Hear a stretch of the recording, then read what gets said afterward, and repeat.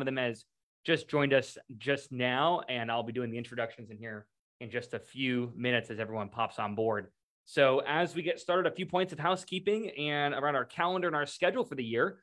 Uh, tons of Business Academy events, trainings, and sessions happening in the coming weeks and months. So, in case you guys don't have it, you can go to our website, uh, businessacademy.com. You can get a copy for you to print yourself off a calendar for the remaining months of the year, meaning June, July, August, September, October, November, December. We are almost halfway into the year, which means we are halfway towards exceeding all of our goals for 2023. I know a lot of you guys are on target, others are getting on target, but no better way than to invest in yourself and keep investing in your staff based on what you have available on your program. And uh, while we're getting started, Dr. William Thomas, welcome. Go ahead and turn your webcam on. Uh, Dr. Kevin Prime, what's going on? Hey, go ahead and turn your webcam on, guys, so we can see you. Awesome. Hey, Jennifer, good to see you. Every Dr. Prime in the house. I like that org board in the back right there. Looking good. Awesome. Dr. McEwen is joining us as well. Dr. Mike, what's going on? Dr. T's going to turn on his webcam here in a minute too. Dr. Shock is joining us as well.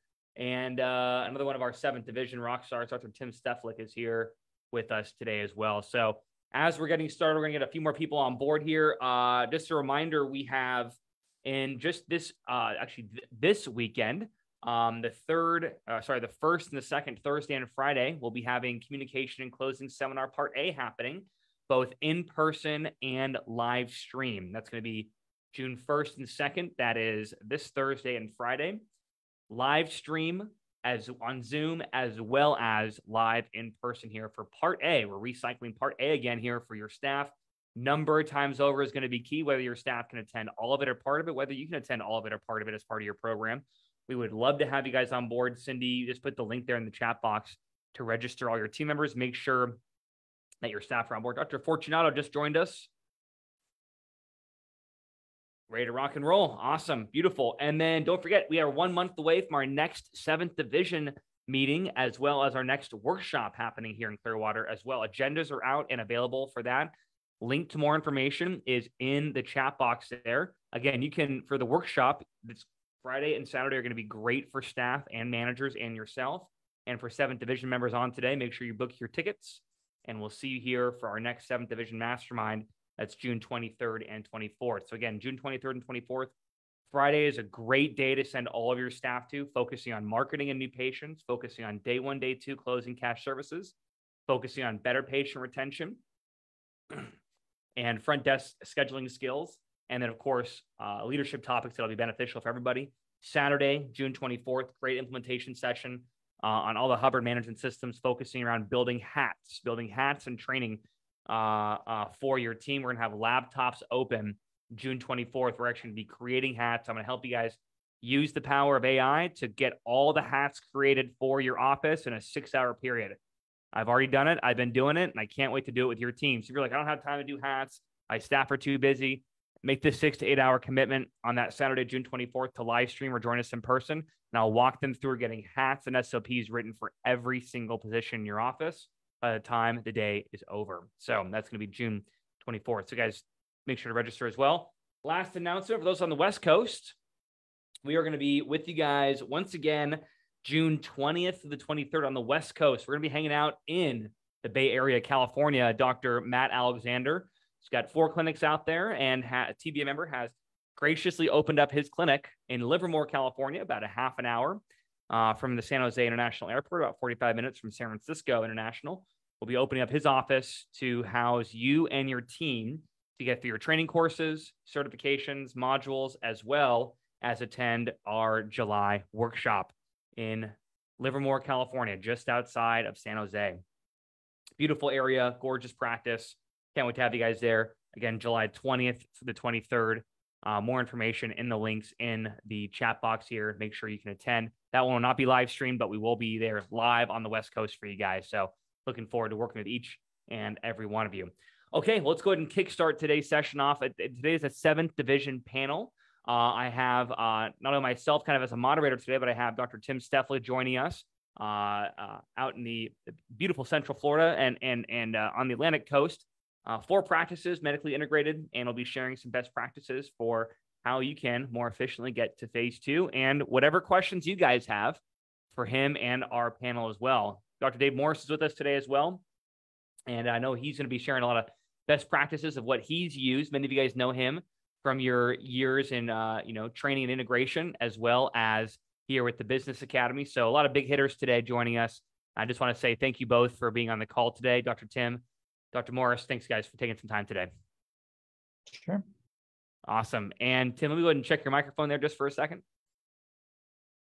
Uh, yep. Can you hear Yep. me? So we're good to go. Awesome. And we have a few more 7D members on their way that'll be joining on today's panel. So as we get started today, Dr. Morris, do you mind just quickly just doing a quick uh, kind of elevator story here on your your your kind of your history and practice and how how how long you've been working with the Hubbard management system um, and where that's taken you uh, from and where you're at now. I'd rather not say how long because it's going to age me. um, I graduated uh, December of 1996 and went to a clinic that was using Hubbard Management System on December 17th of that same year. So uh, my entire career, I've been using Hubbard Management System in in practice. So can't say that you know I'm like an expert at it, but I've been using it for for a long time, and uh, it's got me everything that I have. You know, I mean, it's uh, that and that and other things that uh, Hubbard offers as far as personal development has has you know taken me to from being somebody who frankly had a really hard time even making it out, out of clinic because I couldn't really talk to people very easily about chiropractic and wellness uh, to you know now we have three and a half million dollar a year clinic in Middle Tennessee and uh, about 30 minutes outside of Nashville and um, I'm largely phase two like I don't I don't really have to be here most days uh, obviously, there's days when the proverbial uh, stuff hits the fan, where you got to come in and fix things up. But for the most part, you know, it runs uh, runs pretty well without me. So That's awesome. I'm gonna I'm gonna kickstart the conversation with a, couple questions. And I'm gonna move it over to Dr. Tim here in just a minute. Um, Dr. Morris, I mean, what would you say there? There's a you know everyone here has either studied some of or has been you know really diving deep into the Business Academy's executive courses. They've attended these webinars. They've been to workshops. They're putting in org boards and stats and hats and training and uh, better ways to manage and grow their practice using a lot of this system you know, there's a whole panoply and of, of courses and information you can pull from. But what would you say has like what piece of business system or business technology has stood out to you the most to get from again where you were now again you said about a three and a half million dollar year practice and largely phase two so much that you could probably you know uh, lean on as to how you got there. But what would you say if you had to flash answer what's one of the most important pieces of things that you learned from this system that helped you get to where you are? From from the management technology, uh, golly, that's so hard to pin down. And uh, you guys could tell he did not prep me ahead of time for these questions. Um, the best I don't know. questions right yeah go ahead Uh, specific for me specifically, I think the thing that's helped me the most is just the Hubbard drills and and courses on communication. Uh, you know how to, um, you know, tools for communication in the biz in business. Those communication drills, they they changed my life. I mean, they it was that was the thing that uh, I had a hard hard time doing. You know, it helps you helps you confront anything. You know, helps you be able to face whatever you got to do. So if there's something that you're shying away from, it is uh, to confront problem, you know, and uh, those communication drills certainly help you uh, communicate better. you just said if there's something you're shying away from, it's a confront issue. I think that's I think like, there's there I think all of us can agree there's something in in our business that we're shying away from and don't want to confront, and uh, that tends to be the uh, Achilles heel of our growth. Would you agree? Oh, for sure. Yeah, I mean, everybody has it to some degree. You know, if it were, you know, that if it were all easy and no, you know, nobody comes to your doorstep and says, "By the way, here's a box that dropped off from Amazon has all your dreams inside," so uh, you you got to go after it. And if you're not, uh, and if you're not, if you don't have what you want, then you know my mentality for for since 1996 really has been that if if somebody can even think it possible like if somebody can even dream it up it must be possible you know? It must be it, it doesn't mean it's going to be easy. It doesn't mean you have all the knowledge and technology but if you can even think of it it must be possible. How, how could you even think of it if it weren't?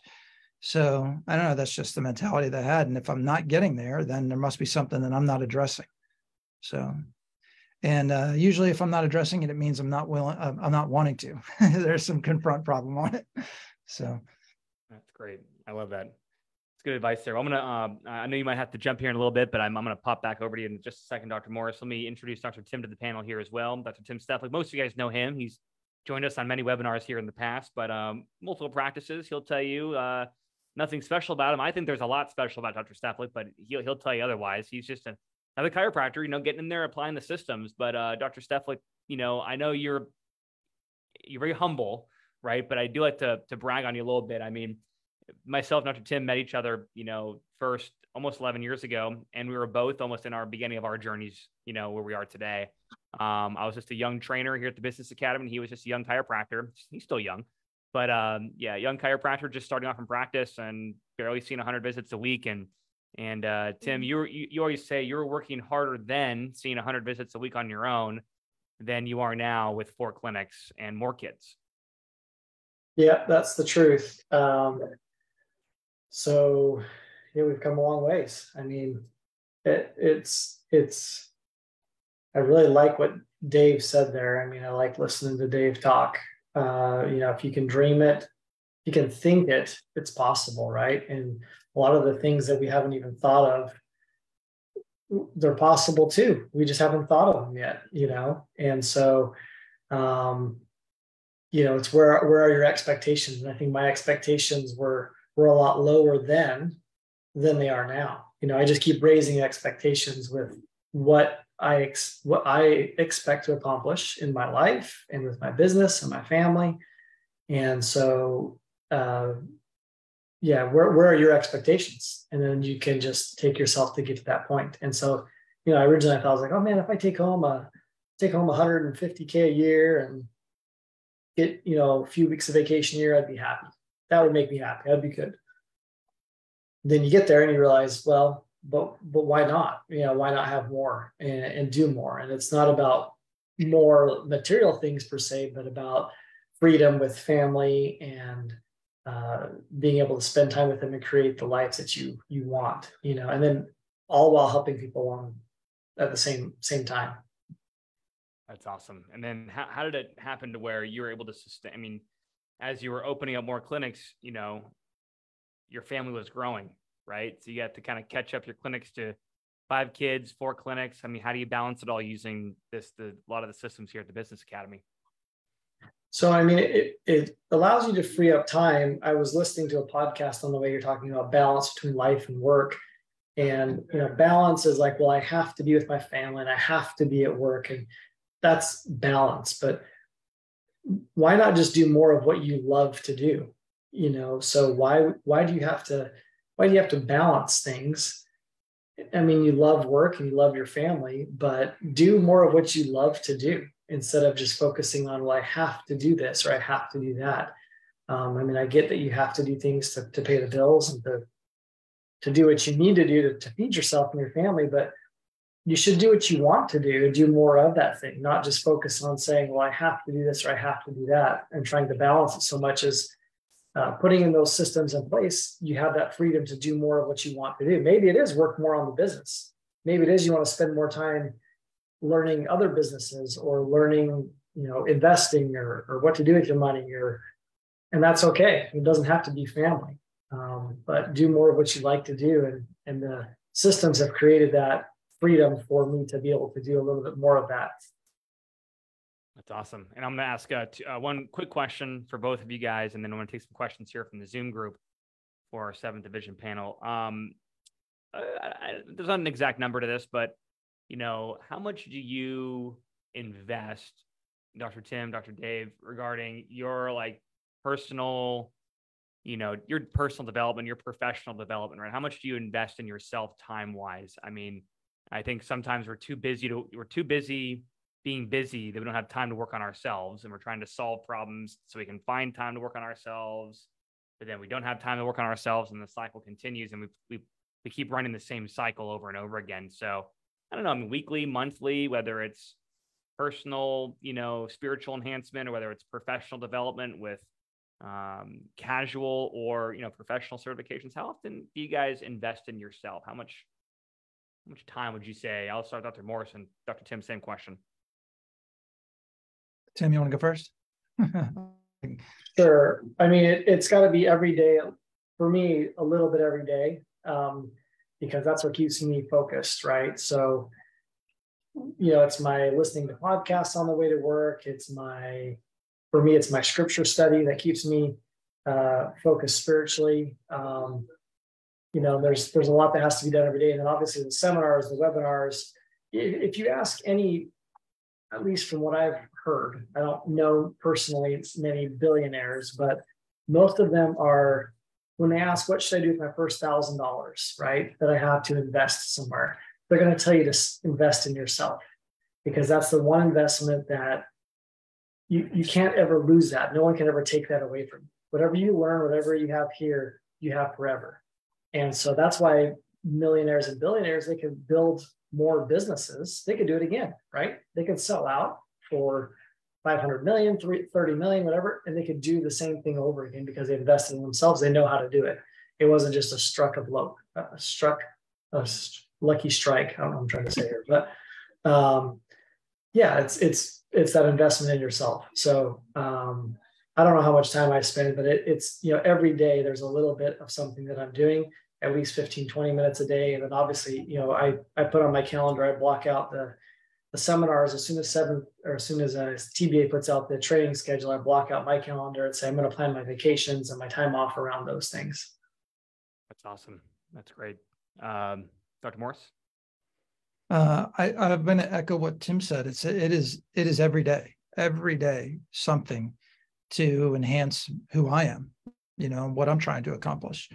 Um, you know, I don't I don't look at it as a selfish thing. I look at it as an absolute necessity that I have to give time to make myself better. I'm, I'm I can only get people around me and the world around me to be as to be better if I'm getting better. Like um because I want to give back. I want to I want to do more for I mean, I, planet's not in great shape, you know. I mean, it's mm. just not, and um, and I don't believe it's up to somebody else to fix. But if I only get to a certain level and I can't see, I, I heard, heard something on the radio on, uh, on the way to work one morning. This was six, seven years ago now, and it said, um, you know, you, your maximum potential, something about your maximum potential, and it got me thinking. I was like, what in the hell is that? You know like what is your maximum potential? Do i do i really believe that i'm going to get to a certain level and then go i can't even be a little bit better than that? That's the most i could be is just that right there. So i don't feel i, I just don't want to be limited by anything and that space between my two ears is going to be what dictates that. So i want to work on that um, improving myself and improving others every day and i do uh, you know, sometimes it's like Tim said, 20 minutes, but uh, lots of days it's an hour, hour and a half, you know, and uh, sometimes that includes listening to podcasts and seminars and lectures and things like that. But a lot of it's every day. It's, it is, yeah, it's every day. Makes sense. Every day. I think it's one really key thing. We, you know, when we don't have time for it, we make time for it and we find out, you know, what can we, uh, what can we, what can we shift over to make to make time for it every day. That's going to allow us to have more time and to, to grow. And I think the, our growth and our business is going to be to the degree that we ourselves are growing at the same time in whichever way we need to. Let me open up the floor here for a second. So Jennifer, uh, Dr. Joe Taylor, seventh division, and Dr. Karina Taylor from seventh division are here as well. I'm going to be getting them here in just a few minutes. Dr. Matt, Dr. Prime, any of you guys, Dr. Huffer, feel free. I'm going to let, I'm to, I'll let the mics open up here. Uh, Dr. Leif Stevens, Dr. Thomas, whether it's in the area of getting to phase two, profitability, service centers, marketing, closing cash services, patient retention. Man, the floor is yours. I'm going to be moving out of the way here and letting the panel kind of help take your questions. So I'll put my mic on mute here in just a minute, but I'll let any one of you guys jump on in with your first question for our panel in any area of the practice. Dr. Fortunato, anybody feel free to jump on in. The floor is yours. Dr. Mike.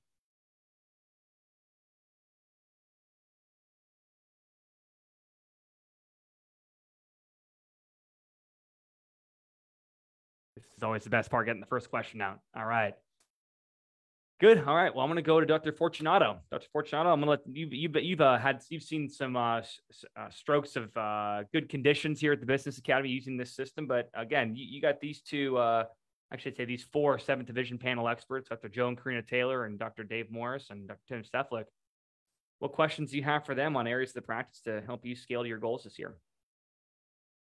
I'll let you unmute your microphone there. Well, first thing is when I grow up, I want to be like each and every one of them, some way, shape, or form.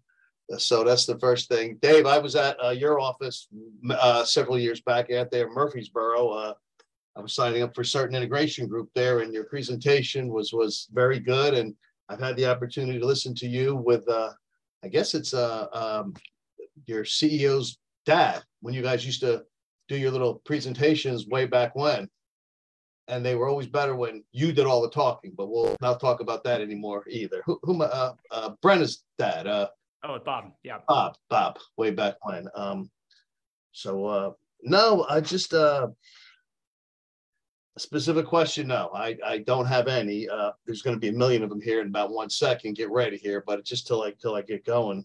Um, off the top of my head, no. I'm just yeah, sorry. I'll, I'll, let the gears get uh, get warmed up there. Let me go to Dr. Mike there. I know Dr. Mike. I don't know if you're available the whole hour here, so I'm going to give the uh, Dr. Mike McEwen the phone to you there, or the floor to you for a second. Again, our panel is here. Questions in the areas of marketing, service centers closes, personnel, scaling, phase two. You can uh, you can take it away, my friend. Thanks, Ethan. Hey guys, uh, nice to see everybody. Hey, um, both to David and Tim. I, I guess my biggest obstacle one is myself. I, I understand that. But number two, like I'm, I, I've, I've done some executive courses, you know, put my foot in the water, put my foot out of the water. By the time I put my foot back in the water and do another course, it is time has elapsed since I did my last course. So I guess what would you say would be the best recommendation in starting, I guess, restarting the engine, meaning go back? I mean, I, I know I don't, I know I can take responsibility to do some of the courses on my own. I get that. But like, would you say if I you know is there a time period that you found hey i found it best when i when i went down every three months every two weeks whatever whatever the case is in i guess in, in rapid succession? Or did you did you guys actually do it in your own space? I know tim ethan said tim you got five kids etc family life everything gets in the way. Um, what would what would be your take on that in a nutshell? Thank you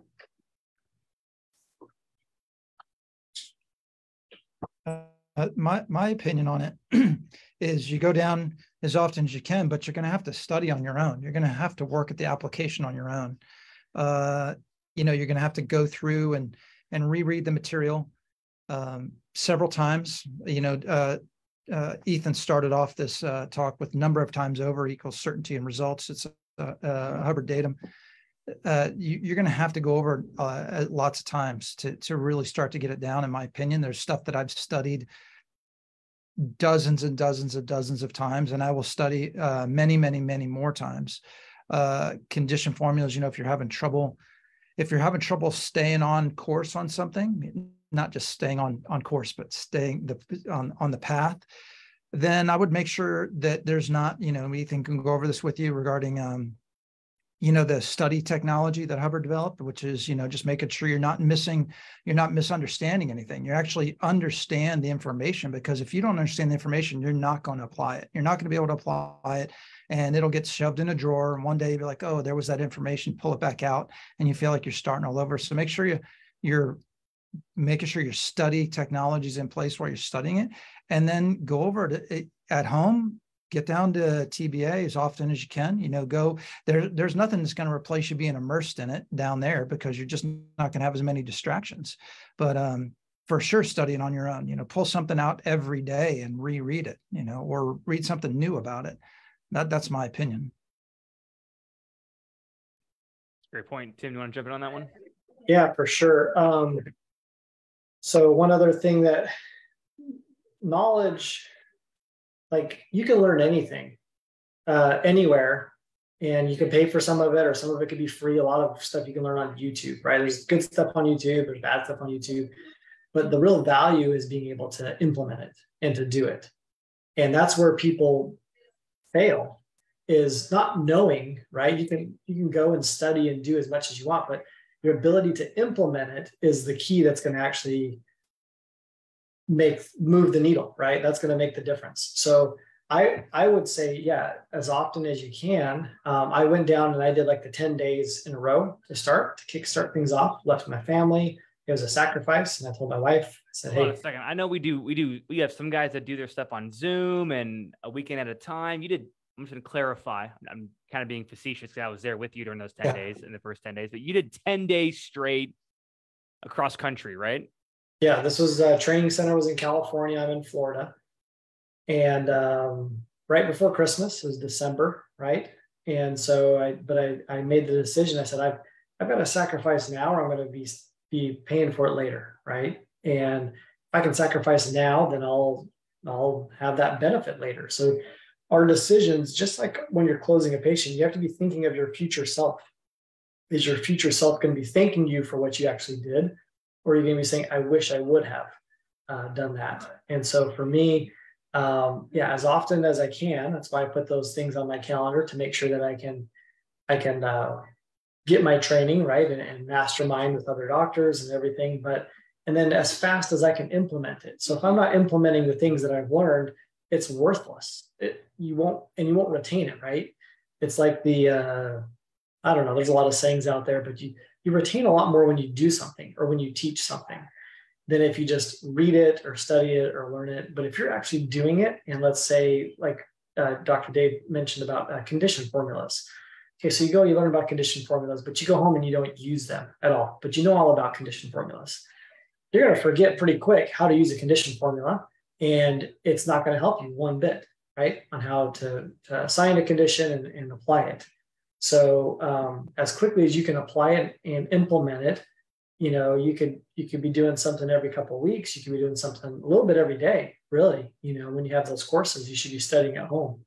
And then uh yeah, taking the time to invest that. And then uh, tba has gotten really good with their implementation staff. Um, so i have staff going through courses and she has like a bi-weekly phone call on hey did you implement this part of the course? And um, you know, we've got an awesome coach that that does that for us so um, I sit in on those calls to to see what's going on, and it's always good stuff.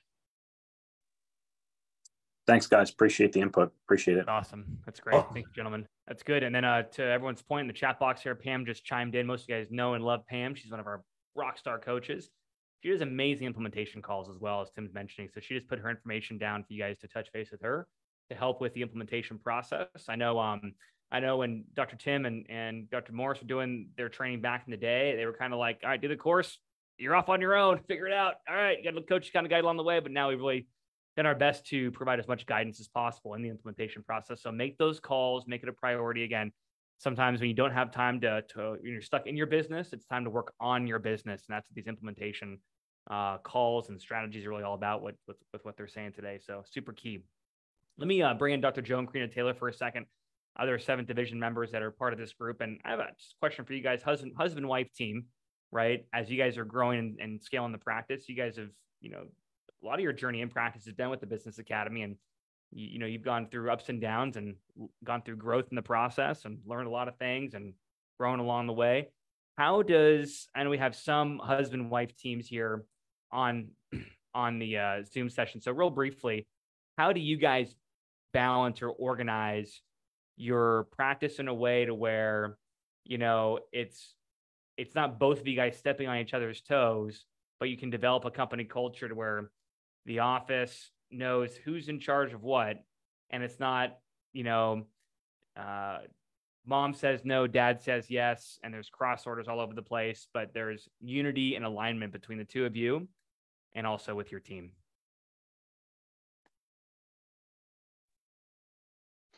Ladies first.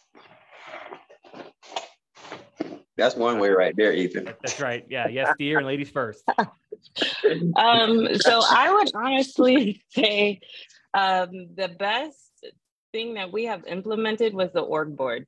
Um, prior to the org board um, in our office, it was a lot of, well, Dr. T said this, Dr. K, you're saying this. Who do we go off of as far as the word? Because we have the same vision.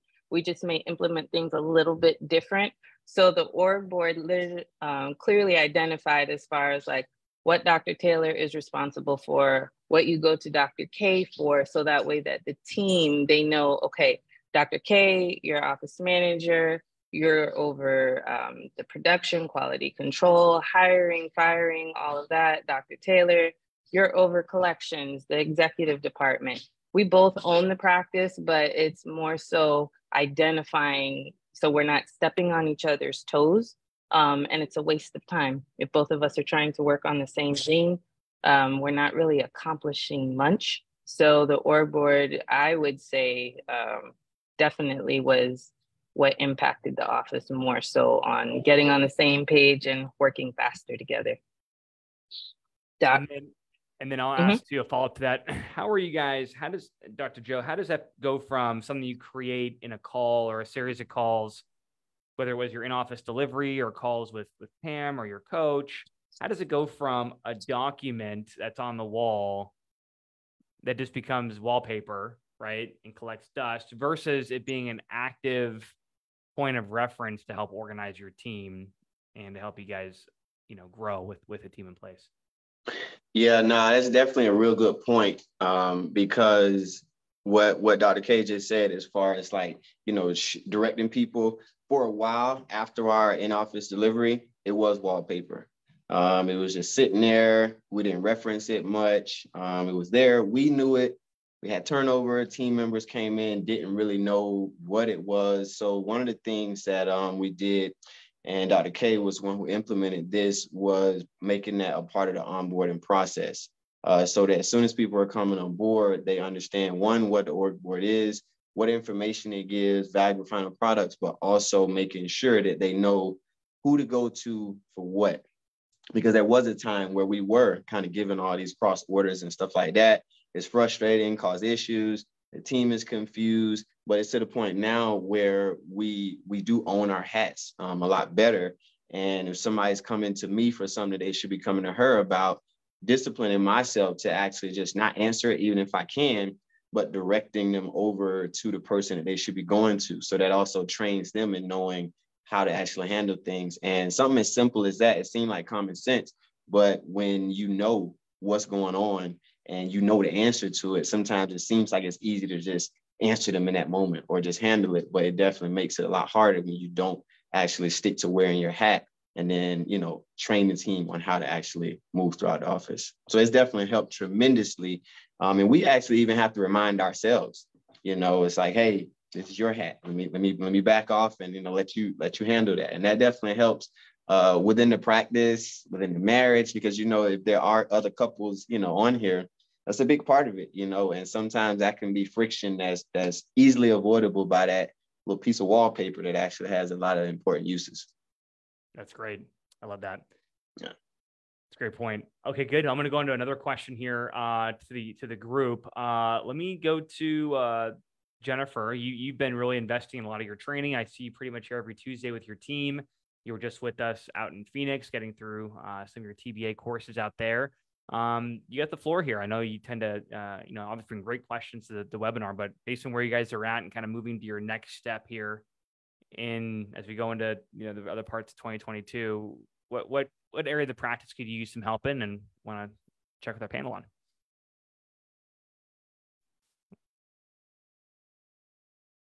Can you hear me? Oh, yep, there sure we can. go. Um, like I said, we've been kind of like you know, just doing everything and trying to take it all in and doing some of the basics trainings. Um, I've done the management basics course. So I guess one thing would be like, what would be the next course um, from people that have had experience that you would add onto that um, to help grow? And other than that, I'm just still kind of like just taking it all in. I'm just looking for all the nuggets on here. I love it. And we'll keep the questions coming. We'll go rapid fire. I mean, uh, I would obviously, I think I suggested the executive fundamentals course, but, but uh, Tim, do you want to, do you want to share some of the other courses that were, were uh, instrumental for you there?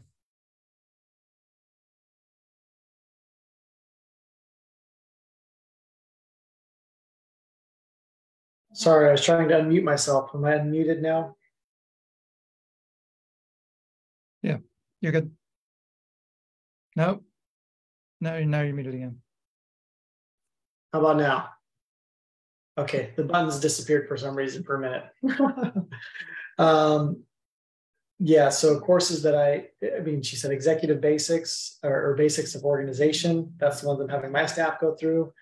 Um, there used to be a course, and I don't shouldn't even say it because it may not be offered anymore. But there was a course for um, it, was like a, it was basically the in in office delivery type course where it had a little bit of everything.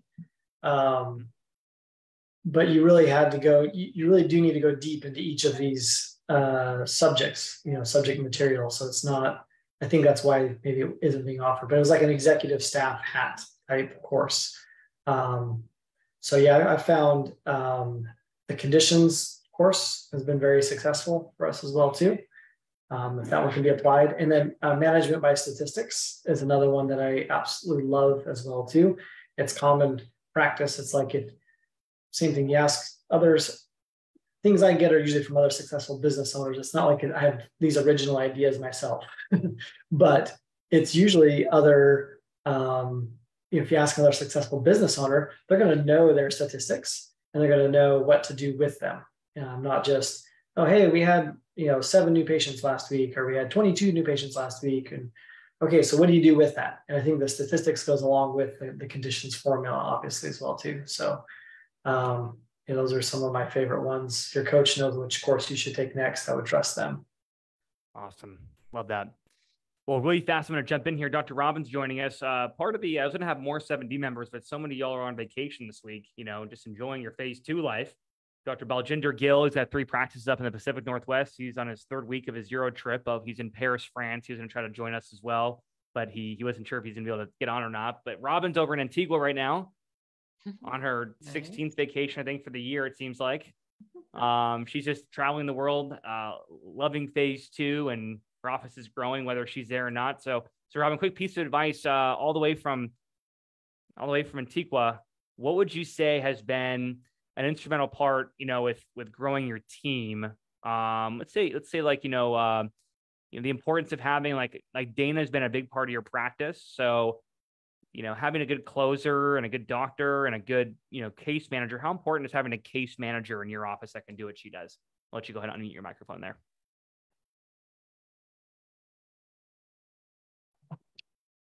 Sorry, and I just got off a boat, so came on here as quickly as possible. So I apologize, I'm in bathing suit. Um, but um, case manager number one is that's going to be like that's going to solidify your practice. Um, you have somebody, you get them trained, you get them trained on the RF course, but um, uh, the manage all the management courses that they have, or the um, no, I'm sorry, not the, the the closing courses that they have. Uh, but mine also has taken all the management courses as well. So she's like very, very solidified. But even before that, she did all the closing courses and she is a master closer. And once you have that, that's what's going to grow your practice. That's going to be like the nugget that you need in order to like make your like to, just to really get your business to grow. And then once you get that growing, and then you can just bring in um you know the rest of your staff. But it's just so important to really get them to the academy and get them trained to get these courses and really um, just be involved with um, the Business Academy and have them training constantly on everything that they have and all their videos that they have in there. What do you call it, Ethan? Your um, database? I'm not even sure. That we, the, the training vault, there we go, that we log into and that's something that we have a two hour lunch. And so with our two hour lunch that they have an hour for lunch and then they have 30 minutes um, on monday wednesday and thursday of just straight going through those videos and just sitting there listening. And then they report back to me their notes. So i can actually make sure that they're paying attention to it.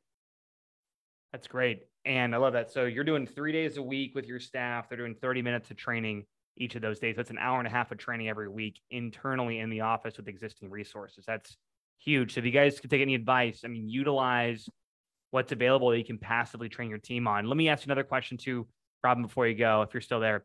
Um, Robin, you're Dana's just, I mean, if one thing I see between you, I see Dr. Steflik and Dr. Morris and a lot of 7D members uh, that are here and also not here, but like that you, you have really good case managers, right? That are that can really close, they are good at closing cash services. Can you give us some of the qualities maybe that that that Dana possesses that you've been able to kind of lean on to help her grow? Like, what qualities of a closer as a case manager are you looking for in somebody? Uh, I think you have a perfect example in someone like Dana that not only can close cases for you that are cash, but also uh, from there grow into become a manager for the office to help take the pressure off of you. Well, I can, and I, I can say that Dana and I are one, we're twins. We are so much alike. Um, but one, she's super intelligent, and I'm not saying all this about myself, but one, she's super intelligent. She knows, like, she is um, very good with with people skills. She loves everybody. She has a passion for what she does. She has a passion for chiropractic care. She was actually a patient before she became um, came into this position, but she actually worked for uh, another person that I knew. But she just has this huge passion for it. And that's the thing is you have to find somebody that really knows what they're talking about first off. They're trained and they listen, but they also know how sometimes you kind of like you read the person, you read the person you're talking to, and you know how you can go off course a little bit with them. But typically you want to stick to the formula and you want to stick to the process of the ROF but like every once in a while, and even um, Dr. Gary Rademacher will even tell you that, hey, you read the room, you read your person.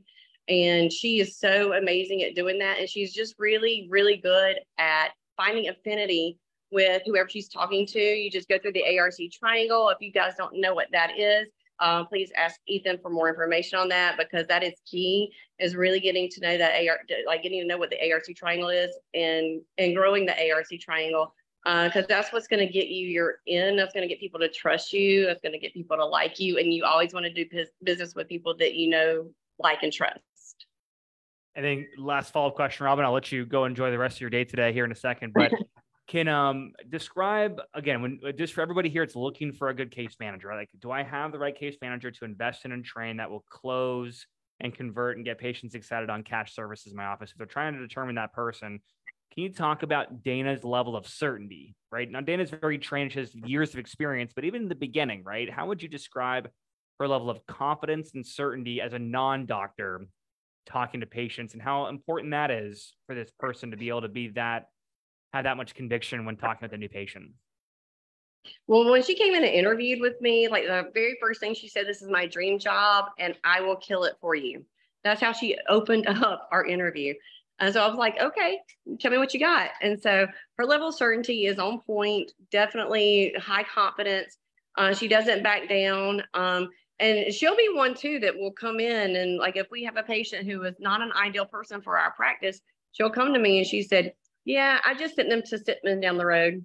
And she's like, Oh yeah, he'll take good care of you, blah, blah, blah. So she knows what what we want in our practice, who we like what we what type of people that we want to attract and who we want to actually take care of. And she knows the people who are going to want, you know, one adjustment and they're not going to stay, pay or refer. And, and hey, they, they deserve to have help as well. But, you know, we're probably not that place for them. We don't want to spend our time and energy. And so she actually can direct them to somebody else who can give them what they want.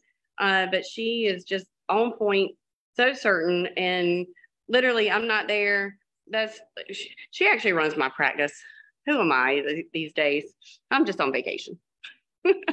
I love it, Robin. That's awesome. Well, hey, go enjoy the rest of your dates and the rest of your vacation. I'll let you go. Okay. Thanks for popping in.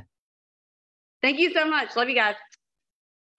Awesome. Uh, I got some other, I got some more questions, but I want to hog the floor. I'm going to open up the floor to uh, Dr. Matt, Dr. Shock, Dr. Fortunato. I know your gear's been turning over there too. Dr. Huffer. Can I ask again. a question, Ethan? Yes, yes. Jump on I in. thought please. of something. Yes. Um, for those of the masterminds, as far as marketing for your practice, I know there is like the marketing where you're doing Google ads, Facebook ads, radio, maybe TV, like you were throwing a lot of money into that every month to get leads and so forth. And then there's also your more grassroots marketing where you're doing the events, the lunch and learns, you're going and meeting with the attorneys, the other doctors. Um, what kind of is your marketing split? How much do you do of each? Have you found one works better than the other? I'll jump in and tell you that the the less money you have to spend on marketing, the more you're going to have to work to get a new patient. There are lots of practices out there that are like they've grown to the point where they just want to spend money to market, so they don't have to do the grassroots stuff the same old way.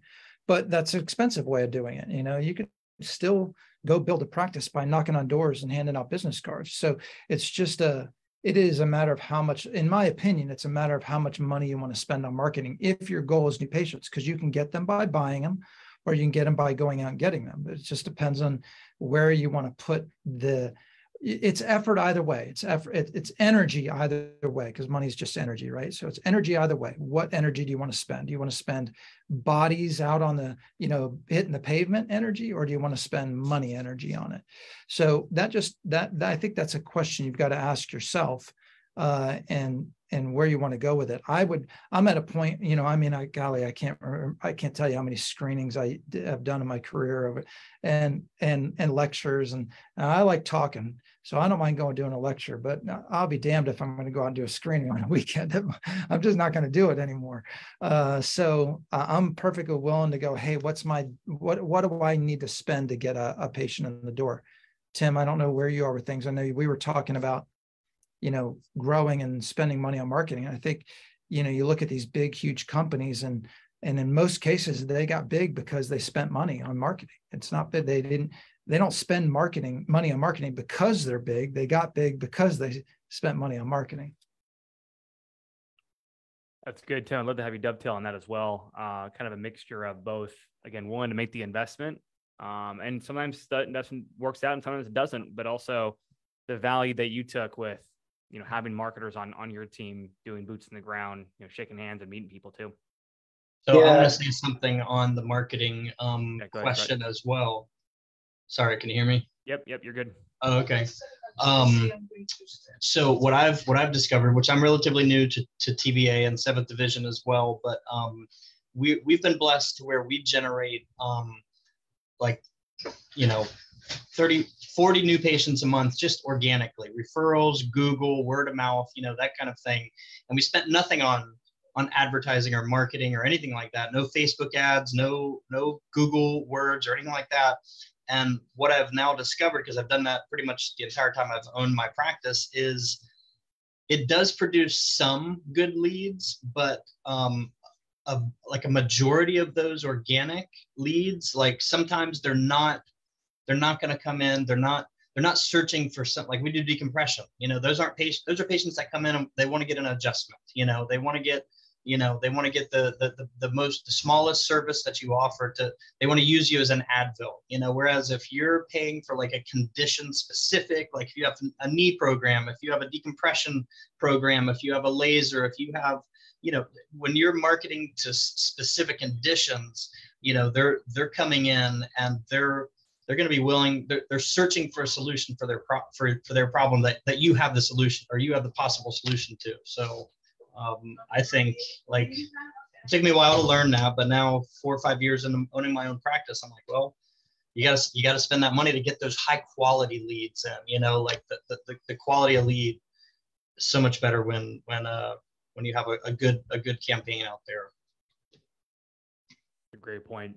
And uh, tim uh, follow up here too. Whether same thing, you know, whether you have capital or you're whether you're willing to spend 10 or 15 percent of your gross income, you know, every month on marketing, or whether you have minimal capital but you got really you got great team members and you got good marketers. Uh, can you describe a bit more about how marketers were not only one of the first strategic moves you made earlier on, and but how they're still part of your business today? Yeah, I think uh, you know, we, we all know we need to market. We all know we need new patients. Um, and it's, it's got to be the consistent flow, right? So for me, I found when you're looking at, you know, what type of marketing to do, Google ads or Facebook or, or grassroots efforts, you know, what's going to be consistent. And I found that doing all of them all the time has been the most consistent. So I don't know a percentage because every area is going to be different as far as what you feel or for example, there's this newspaper, right? Like who does newspaper anymore? It's people think it's dead or it's gone. There's this particular newspaper in our area that is the most consistent uh, source of new pa- and quality new patients. These are our, our, our big cash plan stem cell patients, and they it pulls so good. We've been doing it for I don't know years, three, four, five years at least. And so we just don't quit doing it. We've maxed out the, the maximum amount that we can spend on it, and we do that every single month. Um, it actually goes out quarterly, but it's a it's a fantastic example of like, you know, that's not offered in other areas. And I know other doctors that tried it in their area and it didn't work. So, but you have to find what works and then just keep doing more of that, right? You just keep putting, if you can spend $10 and get $100 back, we'll keep doing that more and more and more and more because it works. If you spend $10 and you get five back, stop doing that one, right? so depending on what type of quality of patient you want and where you want them, but then finding what they are and then being consistent with them as well. So just uh, you know, not backing off when times are good and not um, you know ramping up only when times are bad because you say, oh man, shoot, we got no new patients on the schedule next week. Well, it's already too late. You know, you're not going to turn on a switch and get new patients next week. You had to have done something to lead up to that. So that three month marketing calendar, if that's still being taught, that's an excellent tool for us where we look ahead and say, okay, hey man, we have an event every single day this week, but man, three weeks from now we have no events. So we better get on the ball. I don't care about these events this week; they're going to happen, but let's get something set up for three weeks from now. Um, so that's what's been successful for us. You know, I, I I know our number. I'm sure Dave. I'm sure a lot of people on here know their number is too. Is how many new patients you have to get per month or per week to hit your revenue target. And you've worked that backwards to say, I need this many new people. So if you can work that backwards, you know what you need to hit. And new patients is kind of the basis. It's the lifeblood of the practice. And it's if you know what that number is, then it's easy. You just have to hit that new patient mark and say, hey, I need 200 new patients this month. If I get 200 new patients this month, that's going to build me, you know, a $4 million practice or whatever it is for you. And then what would you say to uh, the practice owners that are here that don't have a marketer, uh, just haven't had time to go through the process of getting one? Uh, why was that? Why was that? And is that such an important piece of your team for your clinics? So, so for me, um, you know, I agree with what Dave said. It's it's it's an energy, right? So you can spend the money, and money is just a representation of the energy that you put into it because you've earned that energy. Now you can put it back out. Money doesn't do you any good to hold on to it anyway. But for me, it's been nice having a full time marketer. We have two um, because I can give them things and then not worry about it anymore. Because even if, let's say that we have a marketing agency doing our Facebook ads or our Google ads, I still it still takes up a lot of my time and attention to uh, check in with them. How are those ads going? Um, you know, but if I have the the boots on the ground, the events, um, I can just tell them or not tell them, I'm never going to tell them, but you know, send them a, ma- a message or a task. Complete this and then know that it's going to be done. I don't have to worry about it anymore instead of having that fall back on to me. Um, so having a head in that marketing department has been very important for me because it takes it's one less hat that I have to wear.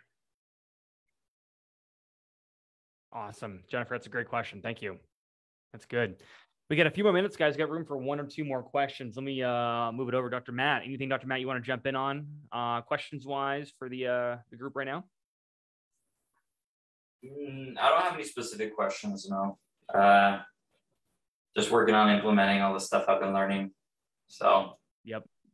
Awesome. Perfect. As we wrap up, guys, and before we wrap up, I have a really, I have another special guest, another seventh division member who just popped in here, hanging out on his vacation. He's over in Paris, France. They've been to Greece. They were in Italy, and now they're in their third or fourth country. I think they're six hours ahead. Dr. Gill just popped in from the Pacific Northwest. Uh, again, I was telling him I was having a hard time getting enough 7D panel members because all y'all are on vacation.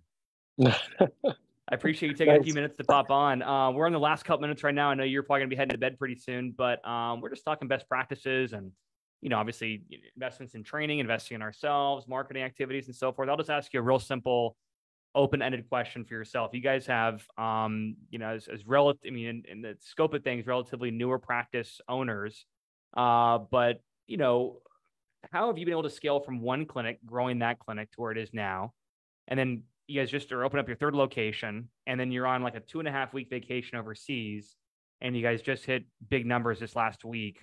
I mean, I don't want to make I don't want to sound like a broken record when I say this TBA is all about getting you to phase two.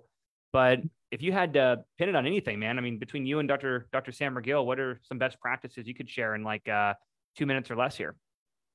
Yeah, I mean, this isn't scripted at all, and uh, I, I promise everybody, Ethan didn't ask me to say this, but a big part was Ethan and TBA.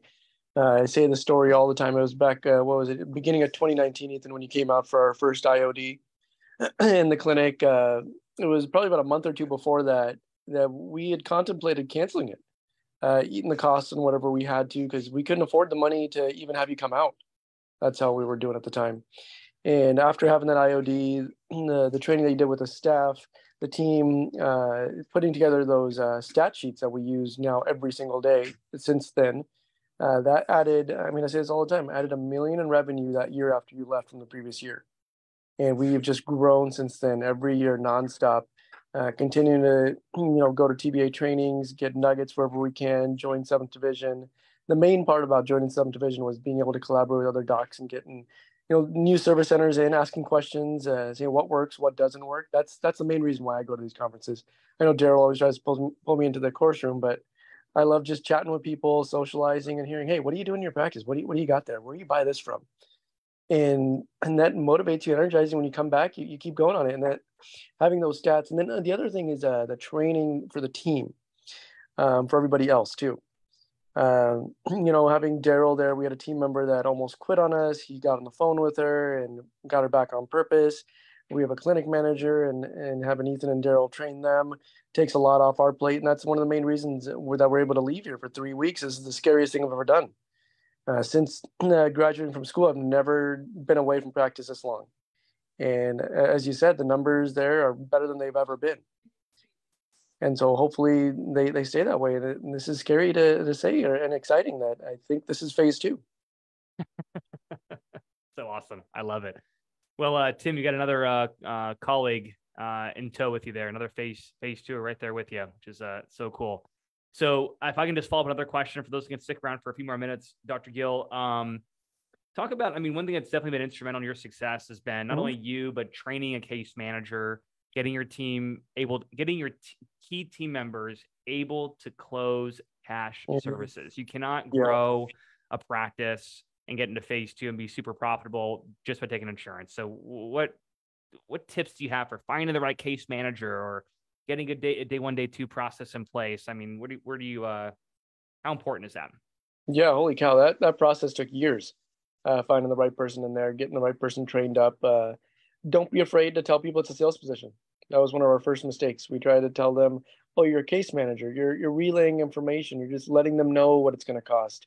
You're not really a salesperson." We tried to present it that way, and that backfired. It bit us in the butt multiple times. When as soon as the team member got to a training, and I said, "This is sales. I don't want to do sales." Don't be afraid to use that word. Now we all think it's a bad word. It's not. Uh, read uh, Sell or Be Sold" by Grant Cardone. We've all read that. Uh, we've got the audiobook for it too and then getting the person that we have now, she had a background in aesthetic sales. And so finding somebody like that who's not afraid, she's hungry. She's asking, okay, what numbers do I got to hit to hit my bonuses? And she's hitting them.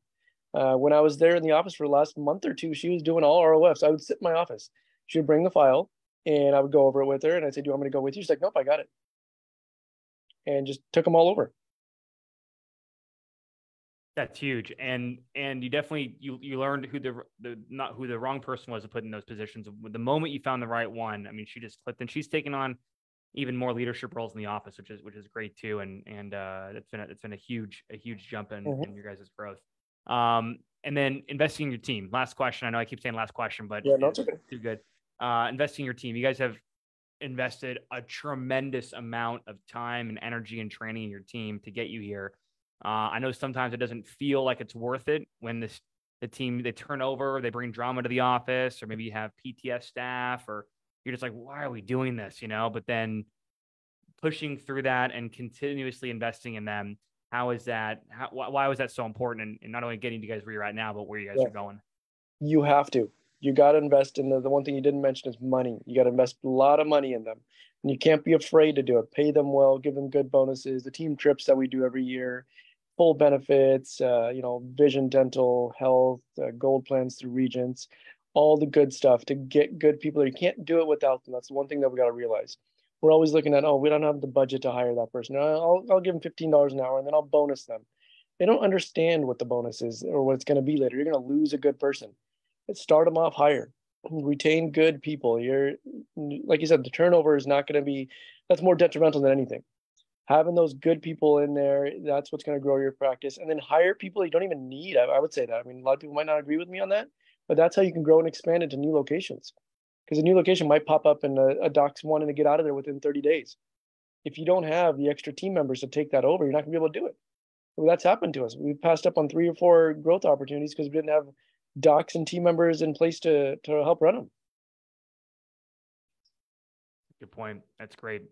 Well, if there's one thing I see Dr. Morris does, you do, uh, the Taylors do, Dr. Tim, and, and now Dr. Shock, and everyone here is you guys are working on investing in yourselves, investing in your team. You know, know your numbers, be willing to you know find the right people for the right positions. You know, and and look Mhm. at your your your growth positions, your marketer, your salesperson, your you know your your managers, and just you know get the right people in place that are confident and can do it better than you can. And I'm telling you, Mhm. by investing in them, you'll you'll they'll take you to the next level, and they'll and they'll love to follow your lead. That's the beautiful thing I love seeing with you guys when you have those core really confident people. They want to follow you guys, and they'll follow you all the way to the very end. So that's Yep. that's the key for today. Well, Dr. Gill, I appreciate you taking time uh, out of your uh, Cool. out of your day today, and and Dr. Tim, same thing. Everybody here, I'm a few minutes over on our on our webinar time here, but guys, this I think was a very productive conversation.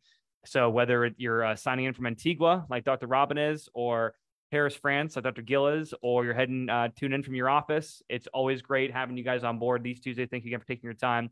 Be part of investing yourself, invest in your team. Next seventh division's happening next month, as well as our next workshop uh, just around the corner. And of course, uh, Dr. Matt Alexander is the one who's putting up his office for our um, our Bay Area, California training in July. Right, I'm going to recap those dates for you guys. We got July just around the corner. You put that in the chat box for you guys to review. So remember, guys, July 20th to the 23rd, we will be in Livermore, California, just 45 minutes from San Francisco, about 40 minutes or so from San Jose. We can't wait to see you guys there in just a half an hour from the Oakland airport. So that's going to be happening here in a couple months and then or here in a month and a half. And otherwise, we'll see you guys next month for our upcoming communication closing seminar and workshop in seventh division. Rock and roll, guys. It was great seeing you. Dr. Gill, thanks again. Dr. Steph, like everybody else, have another great week. Let's welcome in an even better second half of 2023. Take care now. Bye bye.